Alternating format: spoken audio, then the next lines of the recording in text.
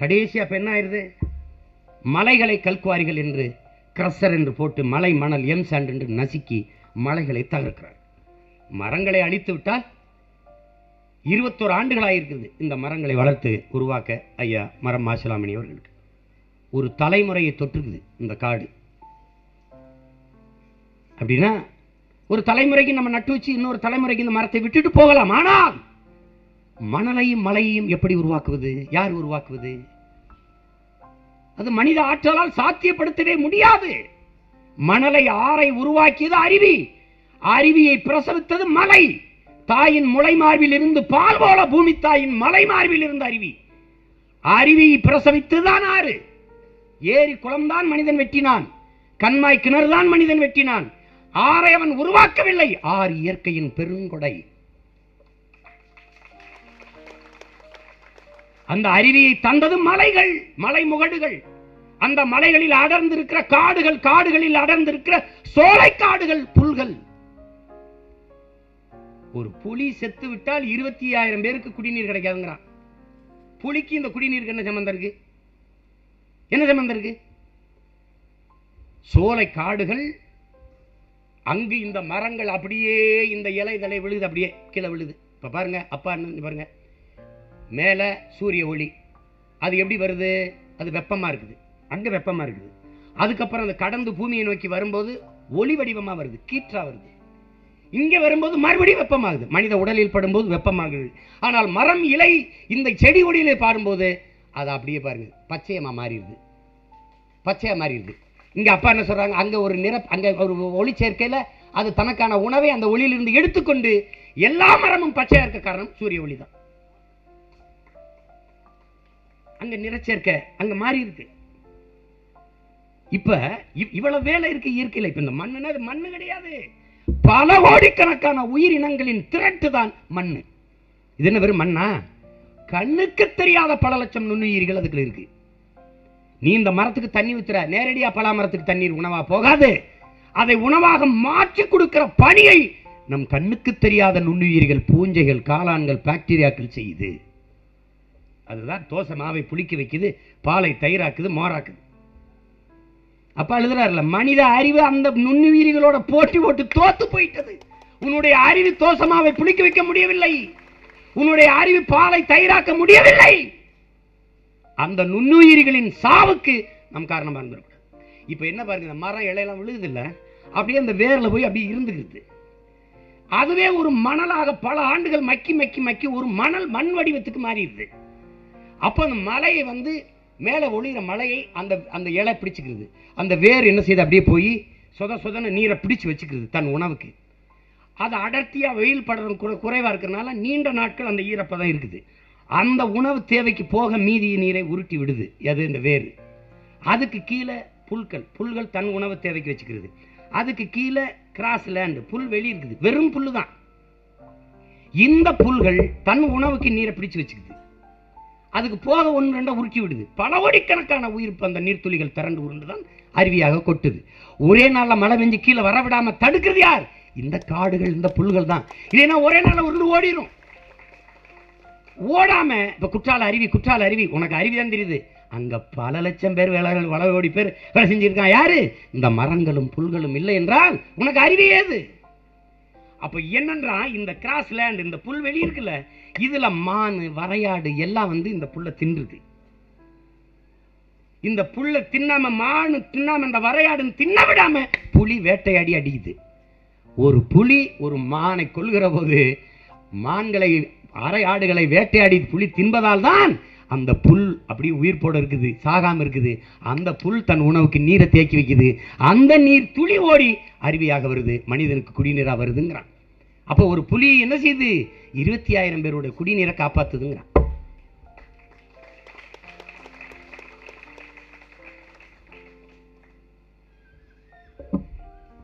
என்ன பாடம் நடத்து? மண்டையில் ஏறாது. பாரத மாதாக்கு ஜெயதான். ஜல் சன் என்ன ஒன்று போட்டிருக்கான்.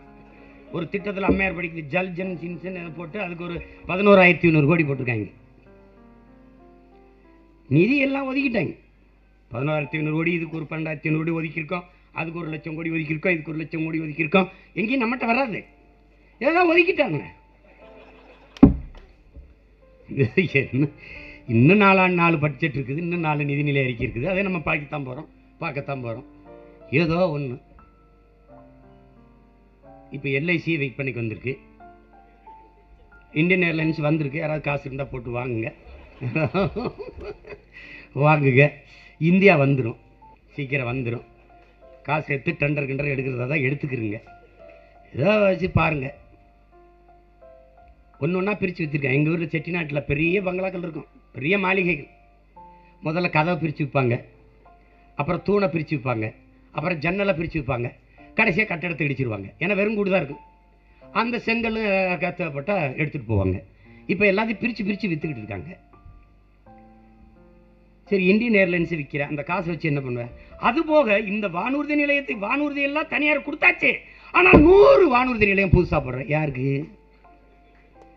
யாருக்கு? நாங்கள் ஓடி பிடிச்சி விளையாடுறதா அதில்? ஐயோ ஆகப்பெரும் அறிவாளிகள். ஒரு அமைச்சர் சொல்கிறான சமஸ்கிருதம் படித்தா கொழுப்பு குறைஞ்சிரும்ன்றானே. சமஸ்கிருதத்தில் பேசினா கொழுப்பு குறைஞ்சிரும் நல்லா இருக்கும் அப்படின்னு. சரி நீ தான் கொஞ்சம் பேச நாங்கள் கேட்குறோம் பேச கொஞ்சம். பேச தெரியாது யாருக்குமே பேச தெரியாது. சமஸ்கிருதம் செத்த மொழின்ட்டு நான் கத்திரி கிடக்குறேங்க. சான்ஸ்கிரிட்னாவே டெட் லாங்குவேஜ் தான் அர்த்தம்ங்கிறேன். சமஸ்கிருதம் செத்து போன மொழி வெறும் புரோகித மொழி. மொத்தமாவே இருபத்தி நாலாயிரம் பேர் தான் நூத்தி முப்பது கோடி மக்களில் இருபத்தி நாலாயிரம் பேர் தான் எங்க தாய்மொழி சமஸ்கிருதம் கொடுத்துருக்கான் இருபத்தி நாலாயிரம் பேர். அதே சத்யராஜ் ஒரு மேடையில் பேசுகிறார் சமஸ்கிருதம் படி படிங்கிறாங்க. சரி நம்மள தான் கரும படிச்சு தொலைவுமேன்னு நானும் பார்த்தேன். அப்புறம் அது யார்கிட்ட பேசுறதுன்னா அது கடவுளோட பேசுறதான் சரி கரும நம்ம எந்த கடவுளோட பேச போறோம்னு வேணான்னு விட்டேன்றது. அது மாதிரி என்னவோ பாருங்க ஏன் பாட்டம் கட்டின கோயில் ஏ? கட்டினவன் தமிழன் கட்டப்பட்டது தமிழ் கடவுளுக்கு கும்பிடுறவன் பூரா தமிழன் அங்கே கல் எத்தினவன் சாரம் கட்டினவன் பூரா எங்காலு அதில் சமஸ்கிருதத்தில் மந்திரம் சொல்லணுமா? இந்த நாடு நாசமாக போனதுக்கு காரணம் என்ன தெரியுமில்ல? ஒரு நல்லது நடக்காததுக்கு பருவத்துக்கு மழை பெய்யாததுக்கு பட்னியாக கிடக்கிறதுக்கு எல்லாமே காரணம் மொழி புரியாமல் எங்காலும் ஏதோ சொல்லிருக்கான்னு கோவத்தில் இருக்கிறதா பிரச்சனை. முன்னாடிலாம் பாருங்க டக்கு டக்குன்னு சிவன் முருகன்லாம் வந்திருக்கான். தப்புன்னு ஆடு மேய்ச்சிக்கிட்டு இருக்கான் மாடு மேய்ச்சிக்கிட்டு இருக்கான். அவன் பாட்டுக்கு இருக்கான் அவை வர்றா அவ பாட்டுக்கு ஒரு பழைய துணியை கட்டிக்கிட்டு அப்படியே போறான் இவன் பெரிய அறிவில் பெரிய இவன் நினச்சி போனான் இவ. நம்ம தான் அறிவுக்கு பெரிய மூதாட்டின்ட்டு. அங்கே போனோடனே ஒரு மாடு மேய்ச்சிட்டு ஒரு பையன். என்ன பாட்டி ரொம்ப தாகமாக இருக்கா? ஆமாப்பா. உனக்கு பழம் ஒழுக்கி போடவா? சரி போடு. உனக்கு சுட்ட பழம் வேணுமா சுடாத பழம் வேணும். பழத்தில் கூடப்பா சுட்டது சுடாது இருக்கு ஆமாம் பாரேன்னு போய் ஆட்டி விடுறான். நாவல் பழத்தை. சத்துன்னு கீழே விழுகுது. தரையில் விழுந்தோடனே எடுத்து கிளவி சாப்பிட போடுவோம். மண் ஊட்டிருக்கணும் ஃபோனு ஊதிட்டான்.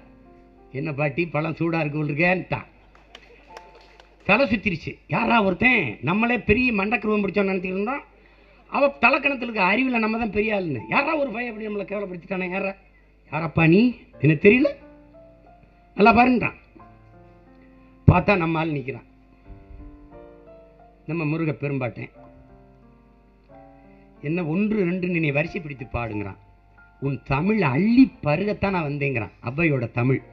அவனுக்கு மந்திரம் சொன்னா புரியாதுன்ட்டாங்க. நீசவாசைன்ட்டாங்க இது வரைக்கும் முருகன் எந்த வேண்டுதலையும் நிறைவேற்றல. ஏன்? புரியும்படி அவனும் பேசல.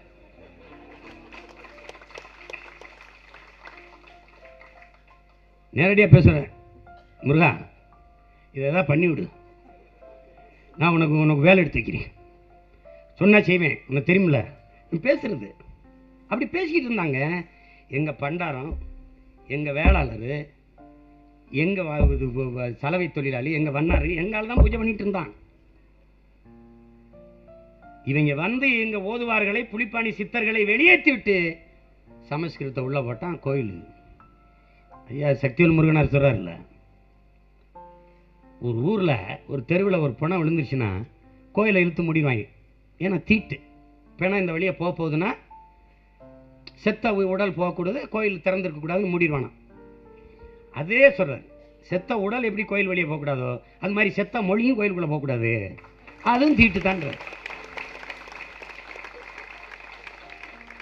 நீ வேணா பாரு நான் சொல்கிறேன் ஒரு ஆறு மாதத்துக்கு தொடர்ச்சியாக எல்லா கோயிலும் தமிழ்லயே மந்திரம் ஓதிப்பாரு. நாடு நல்லாயிரும். இங்க பாருங்க உங்களால் உங்களால் நம்ப முடியுதோ இல்லையோ? தம் மாவீரனுக்கு பிறந்த நாள். பிறந்த நாளைக்கு இப்போ முருகன் கோயிலுக்கு போகணும் வடவள்ளி முருகன் கோயிலுக்கு போயிடுச்சு போனோன்னா அவர் ஐயர் என்னை பார்த்தா தமிழில் சொல்லுவார். சொல்லுவார் முருகா போற்றி சொல்லுவார். வள்ளி நாயகனே போச்சும்பார் எனக்கு சொல்கிறாரு மற்றவங்களுக்கு சொல்கிறாரா இல்லைன்னு தெரியல. சொன்னோன்னா அங்கே என் தங்கச்சி தான் அதிகாரி. நம்ம தம்பி சுரேஷுடைய மனைவி. மந்திரம் ஐயர் சமஸ்கிருதத்தில் சொல்ல ஆரம்பிச்சாரா இல்லையோ? என் மடியில் இருந்த மாவீரன் ஆட ஆரம்பிச்சிட்டேன் எனக்கு புரியல. சர்வாரி பீமன் ஒரு மாதிரி ஆரம்பிச்சிட்டான். திடீர்னு தங்கச்சி நம்ம ஓதுவார வர சொல்லுப்பான்னு ஓதுவார் வர்றார். வெறும் பெருமேலோட போட்டு. இளைஞர் தான் அது ஆரம்பிச்சு தமிழ்ல மந்திரம் சொன்னவொடனே இப்படி திரும்பி பார்த்தான் பாருங்க. அவரே பார்த்துட்டு அழலை அந்த மொழி இழுகுது பிறந்த ஒரு வயசு குழந்தைக்கு புரியுது. கவிப்பேர வைரம் சொன்ன மாதிரி சிவனுக்கே புரியுது சிவனுக்கே பிடிக்குது வேற எவனுக்கு பிடிச்சான பிடிக்கலான்னு தமிழ்ல ஓது மந்திரத்தை நீ பல ஆண்டுகளா இருந்துருச்சு. பல ஆண்டுகளா இருந்துருச்சுங்க. என்னங்க பண்றது அப்படின்னா ஆகமம். சரி ஆகமம். கோபுரத்துல நெய் விளக்கு தானே ஏற்றின எதுக்கு மின் விளக்கு ஏத்தின? மாறிட்டில. உலகில் எல்லா மொழிகளும் மனிதனால் பேசப்பட்டது. தமிழ் மட்டும்தான் இறைவனால் பேசப்பட்டது. முதல் தமிழ் சங்கத்தின் தலைவனாக இருந்த எங்கள் ஆதிப்பாட்டன் சிவன் இருந்து வளர்த்த மொழி தமிழ். அது புரிஞ்சுக்கணும்ல? மணிநெற்றி உமிழ்ச்சங்கன் தளல்புரை சுடற்கடவுள் தந்த தமிழ்ங்கிறான். அவன் தந்த தமிழ்ரா? சிவபெருமானே தந்த தமிழ். அவன் மொழியில் அவனுக்கு ஓதாம சமஸ்கிருதத்தில் ஓதுனா இப்படி. அஞ்சாம் தேதி கிளம்புறதுன்னு முடிவு எடுத்துருவான். என்ன வேலை இருந்தாலும் போட்டு எல்லாரும் வந்துடுறீங்க. ஆமாம் தமிழில் குடமுழுக்கு முடிஞ்ச உடனே பூரா பேர் வெளியேறி போயிட்டு வேண்டிய என்னடா எல்லாரும் போயிட்டாங்க? போயிடுவாங்க கேட்குறான உனக்கு கடவுள் நம்பிக்கை? கடவுள் இருக்கு இல்லை. அங்கே என் மொழி இருக்குது தமிழ் இருக்குது. தமிழ் இருக்கிற இடத்தில் இறைவன் இருப்பான். எல்லாத்தையும் தொலைச்சிட்டோம் இருக்கிற இந்த பூமியை காப்பாற்றி வைக்கணும். வருங்கால பிள்ளைகளுக்கு விட்டுட்டு போகணும். அவனுக்கு வங்கியில் பணம் வேண்டாம். விலை உயர்ந்த மயில் உந்து வேண்டாம். மாளிகை வேண்டாம். வாழ்வதற்கு வசதியான பூமியாக அதை விட்டுட்டு போகணும். நம் தாத்தா நமக்கு கார் வாங்கி வைக்கல. அவன் வங்கியில பணம் போட்டு வைக்கல. காடுகளை காடுகளாக வைத்தான் மலைகளை மலைகளாக வைத்தான் ஏரி அப்படியே வைத்தான் அருவி ஆறை அப்படியே வைத்து விட்டு போனான். இந்த உலகம் உங்களது இல்லை. உங்கள் சந்தையினரோடது உங்கள் பிள்ளைகளுடையது. உலகம் மனிதனுக்கு மட்டுமானதல்ல இந்த பூமி. பல லட்சக்கணக்கான உயிரினங்களின் உடைமை இந்த பூமி.